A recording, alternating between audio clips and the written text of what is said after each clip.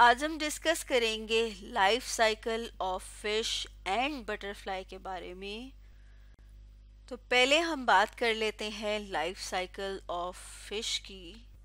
यानी कि हम देखेंगे कि जो फ़िश होती है, मछली होती है, उसकी ज़िंदगी में क्या तब्दीलियाँ आती हैं, किस तरह एग से पूरी फ़िश बनती है और फिर फ़िश जो है वो दोबारा एग देती है मतलब दोबारा अंडे देती है और उनसे क्या होता है, दोबारा मछलियाँ बनती हैं। तो ये पूरा का पूरा एक साइकिल चल रहा है, जैसे कि यहाँ पर हम अपने सामने इस तस्वीर में भी देख रहे हैं। तो सबसे पहले हम ये देख लेते हैं कि मछलियाँ क्या करती हैं, अंडे देती हैं, यानी कि एग ले करती हैं। और ये जो एग हैं, अगर हम इनकी बात करें तो हम देखते हैं कि ये कहाँ पर हैं, क्योंकि मछलियाँ खुद पानी में रहती हैं तो ये एग ले भी कहाँ पर करती हैं? पानी में। तो जैसे यहाँ पर हमने लिखा fish lay eggs in water अब उनके अंदर जो है, वो क्या होता है कि आहिस्ता आहिस्ता मछली बनने का जो अमल है वो शुरू हो जाता है। जैसे कि यहाँ पर इस तस्वीर में हम देख रहे हैं कि जो अंडे हैं, जो एग हैं, उसके अंदर हमें नज़र आना शुरू हुआ है कि यहाँ पर, क्योंकि हमने इसको बड़ा करके देखा है लार्ज करके देखा है कि अब मछली बनने का अमल शुरू हो गया है। अब इससे आगे जो स्टेज आती है, या फिर हम कहेंगे कि आगे जो बनता है, उसे कहा जाता है लार्वा जिससे कि इस तस्वीर में हम देख रहे हैं कि अब अंडे से बाहर निकल आया है और इसको कहा जाता है लार्वा। अभी हम इसको फ़िश या मछली नहीं कहते।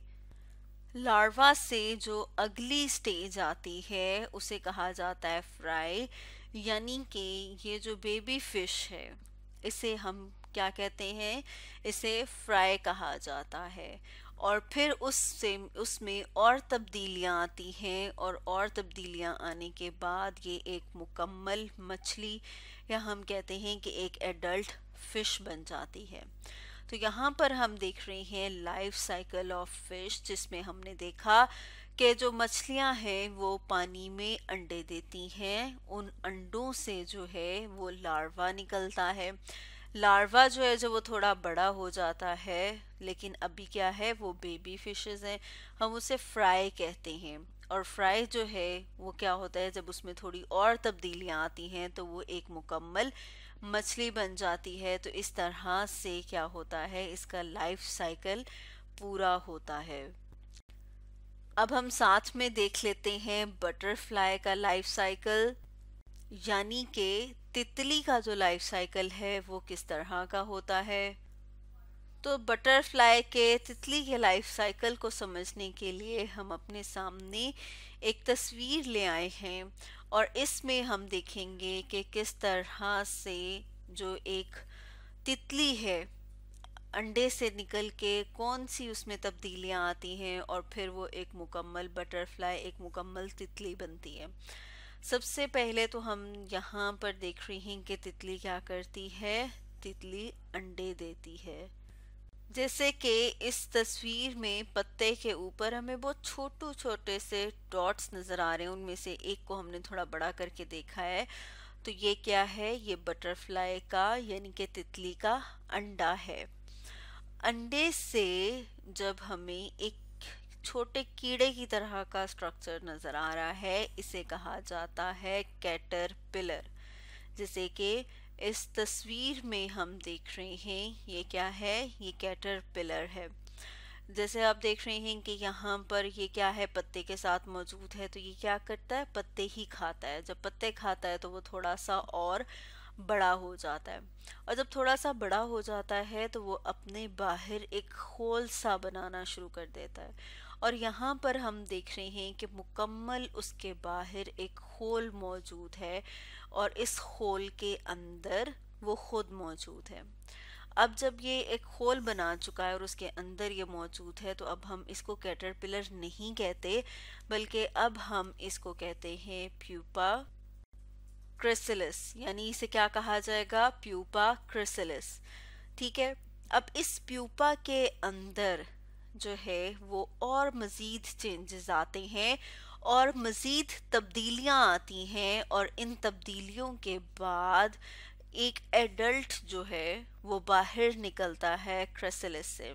जैसे कि यहाँ पर हम देख रहे हैं कि अब क्या होगा कि अब आहिस्ता आहिस्ता इसमें से एडल्ट जो है, वो बाहर निकलना शुरू हो गया है।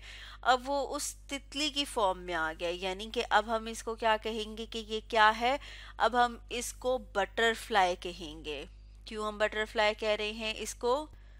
क्योंकि अब ये एक मुकम्मल तितली, मुकम्मल बटरफ्लाई की फॉर्म में आ गया है। लेकिन एक मुकम्मल बटरफ्लाई, एक मुकम्मल तितली की फॉर्म में आने के लिए इसमें बहुत सारी तब्दीलियाँ आती हैं। यानी ये बहुत सारी स्टेजेस से पास करता है और फिर ये एक तितली की शक्ल आती है।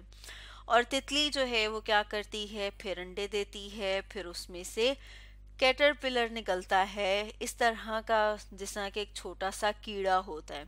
कैटरपिलर जो है जब वो खुराक खाता है, वो थोड़ा और बड़ा हो जाता है और अपने बाहर एक खोल बना लेता है, जिसे प्यूपा क्रिसलिस कहा जाता है। अब इसके अंदर और मज़ीद तब्दीलियाँ होती हैं और ये एक कीड़े की शक्ल से आहिस्ता आहिस्ता एक तितली की शक्ल में आना शुरू हो जाता है। और जब वो तितली की शक्ल में आ जाता है तो आहिस्ता आहिस्ता हम देख रहे हैं कि जो एडल्ट है, वो क्रिसलिस से बाहर आ गया और एक मुकम्मल तितली की शक्ल में हमें नज़र आता है। तो इस तरह से ये क्या चल रहा है? ये पूरा एक साइकिल चल रहा है। और ये क्या है? ये लाइफ साइकिल है बटरफ्लाई का, तितली का। तो स्टूडेंट्स आज हमने पढ़ा लाइफ साइकिल ऑफ़ बटरफ्लाई और लाइफ साइकिल ऑफ़ फ़िश के बारे में।